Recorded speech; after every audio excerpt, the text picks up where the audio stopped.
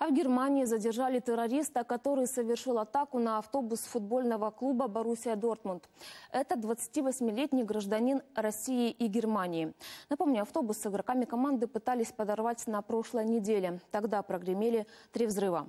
Кто он, организатор атаки и какие у него были мотивы? Подробнее Татьяна Лагунова.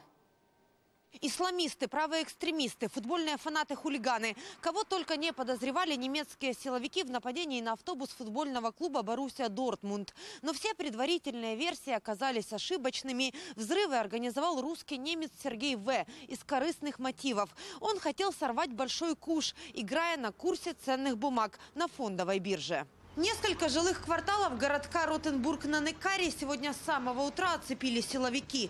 Позже стало известно, это была спецоперация элитного подразделения немецкой полиции. Арестован один из жителей города, который пытался взорвать автобус клуба «Боруссия».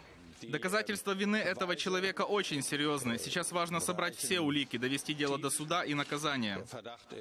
Полиция уже восстановила хронологию событий. За несколько дней до нападения Сергей В.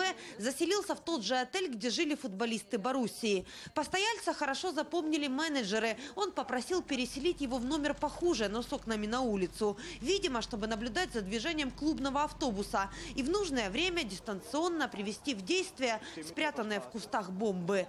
До этого он взял в банке кредит и купил 15 тысяч опционных сертификатов на сумму почти 80 тысяч тысяч евро, чтобы потом реализовать ценные бумаги, играя на падении курса акций Боруссии. На биржевых спекуляциях он планировал заработать до 4 миллионов евро.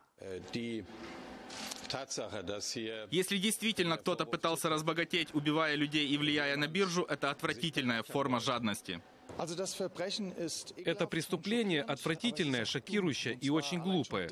Хотя бы потому, что если человек покупает опционные сертификаты накануне нападения, он не останется незамеченным. Ввиду финансового и экономического кризиса банки обязаны регистрировать каждую сделку, каждый трансфер своих клиентов.